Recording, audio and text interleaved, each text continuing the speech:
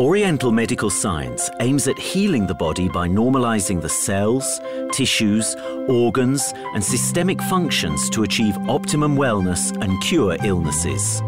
Western medical professionals had recently recognized this as preventive science. The easiest way to achieve this homeostasis is by taking Ganoderma, which is a mushroom belonging to the family of Ganodermataceae.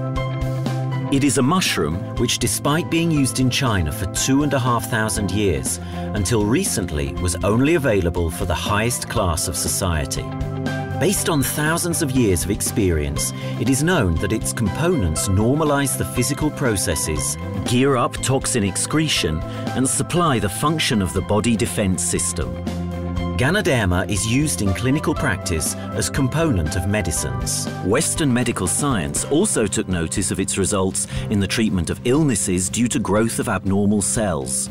Scientific researches prove the liver defender, antibacterial and antiviral effect of Ganoderma, but it has significant results in the regulation of blood pressure, blood sugar and fat in blood.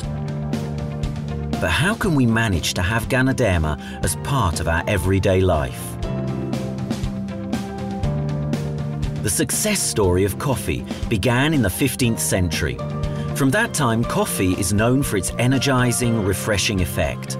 After some decades, the coffee house culture spread and the rest is history. Based on further researches, we should look at coffee in a new approach. It turned out, due to its high content of natural antioxidant, coffee is not even unhealthy, but it has a positive effect on the body.